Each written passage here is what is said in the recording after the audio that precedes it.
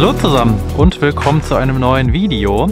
Ja, heute bin ich wieder auf Tour und das Wetter ist einfach nur ein Träumchen heute. Hätte ich gar nicht mit gerechnet, ähm, dass hier oben im Norden zu der Jahreszeit noch so schönes Wetter sein kann. Ja, ursprünglich wollte ich einen anderen Windpark besuchen und äh, bin dann aber aus dem Zug rausgesprungen, weil ich aus dem Zug diese drei Raritäten hier entdeckt habe. Das sind Vensis 100 auf Gittermast. Echte Raritäten. Ähm, Vensis sieht man ja sowieso nicht so häufig. Und äh, schon gar nicht auf einem Gittermast. Noch nie gesehen. Richtig cool.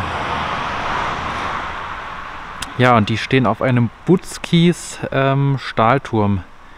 Butzkis Stahlbau ist eine Firma hier aus Krempe, ähm, hier im Nachbarort, die die Anlagen, die Türme für die Anlagen gebaut haben.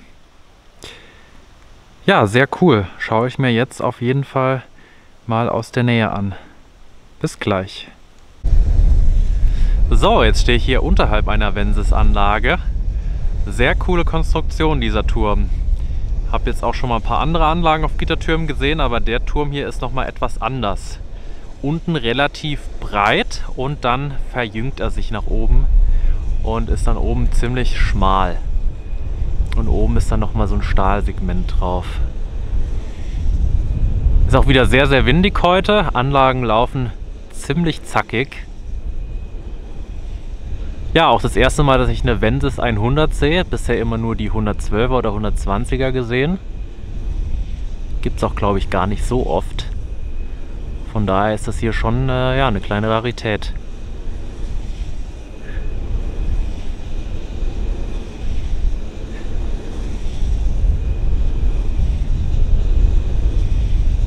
Kommt einem jetzt gar nicht so vor, dass die 100 Meter Nabenhöhe haben. Kommt, kommt einem irgendwie kleiner vor. Ja, da drüben nochmal die beiden anderen. Das sieht schon cool aus. Gittertürme baut man ja heutzutage eigentlich gar nicht mehr. Ja, erstens, weil sie halt äh, zu teuer sind und äh, zu äh, gar nicht hoch genug. Und auch für Vögel und so ist es nicht so ideal, weil die, die setzen sich da gerne drauf und man will die Vögel ja nicht anlocken, sondern eher abhalten. Ja, hier sieht man es nochmal. Also das äh, Stahlsegment ist nicht weiß, sondern sieht halt echt aus wie so ähm, ein graues Stück Stahl. Bei den anderen Anlagen ist es ja normalerweise immer so ja, weiß lackiert wie der Turm, aber hier ist einfach grau.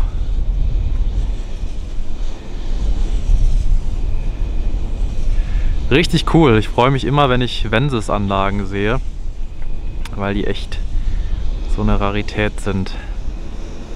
Das ist Nummer 3.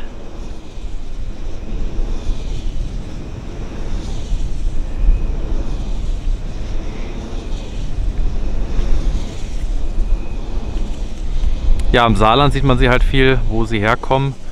Und äh, aber hier, glaube ich, im Norden stehen auch einige.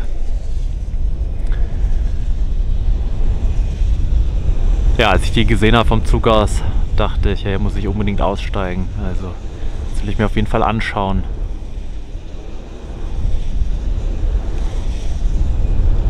Ja, ich stelle mich jetzt mal noch drunter, guck mal, ob ich irgendwie noch ein Datenblatt finde. Und werde mal noch mit der Drohne fliegen. Ja, hier sieht man jetzt nochmal schönes Datenblatt. Da stehen die ganzen technischen Daten drauf. Vensis 100, 2,5 Megawatt, Baujahr 2013. Rotor 100 Meter, Nabenhöhe 100 Meter, Gesamthöhe 150.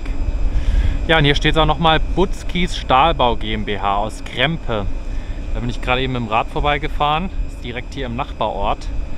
Und die haben den Turm hier entwickelt. Sehr cool. Direkt vor ihrer eigenen Haustür. Dann nochmal die Daten von Vensis aus Neunkirchen. Habe ich ja schon mal eine Werksführung gemacht. Ja, liebe Grüße an Vensis. Und ich stehe hier gerade unterm Turm. Hier sieht man schön den Personenaufzug. Mit dem geht es dann nach oben. Und stelle mich jetzt mal direkt unten drunter in die Mitte.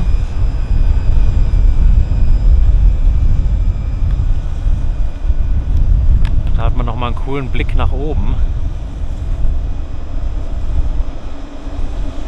Sieht schon geil aus. Richtig cool diese Konstruktion. Ja, die Gittertürme sieht man halt echt selten. Also man sieht halt immer nur die Stahltürme und Gittertürme sind halt echt immer was Besonderes.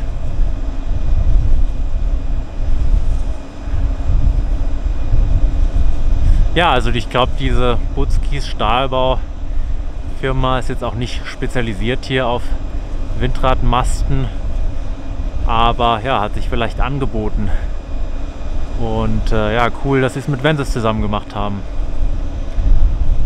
War jetzt gleich noch so einem anderen Windpark, da steht auch noch mal eine. Das war dann, glaube ich, der Prototyp dieses Turms. Ähm, und dann hier die drei. Jetzt stehe ich hier nochmal bei einer anderen Anlage, der nördlichen. Die laufen auch echt ziemlich schnell. Also habe ich in Süddeutschland noch nie so schnell laufen sehen. Da trudeln sie immer nur so vor sich hin, aber es ist echt cool, die Anlagen mal so auf Volllast zu sehen. Dachte auch äh, vom Zug aus, es sind 112er oder 120er, aber mit einer 100er hätte ich jetzt nicht gerechnet. Ich dachte, die gibt es nur ein, zwei Mal, aber dann gehören die hier scheinbar dazu. Cool, dass ich jetzt auch mal die Vensis 100 gesehen habe. Ja, optisch eigentlich wie die 112er oder 120er. Da drüben ist die andere. Mittlere.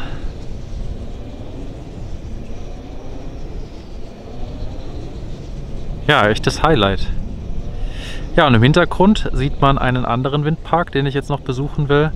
Das ist der Windpark ähm, Neuenbrook. Schauen wir mal jede Menge Senvion. Ja, aber auf der Herfahrt habe ich dann auch zufällig festgestellt, dass da auch eine neue Vensis-Anlage noch gebaut wurde, beziehungsweise auch noch andere Vensis-Anlagen stehen. Ähm, da hinten steht eine neue Vensis 115. Dürfte auch so eine der ersten ähm, in Deutschland sein. Sehr cool. Und Vensis 77 stehen hier auch noch. Also äh, einige Vensis hier in der Region. Und die will ich mir auf jeden Fall ähm, noch aus der Nähe anschauen. Ja, zu dem Windpark hier gibt es ja jetzt nicht mehr so viel zu erzählen. Das sind ja dreimal die gleichen Anlagen. Schreibt gerne mal in die Kommentare, was, äh, was ihr denkt, wie die Anlagen findet. Im Anschluss habe ich noch mal ein paar Drohnenaufnahmen für euch. Richtig schön bei dem tollen Wetter.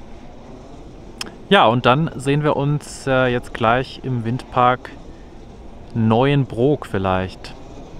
Bis dahin, halt die Ohren steif und bis dann.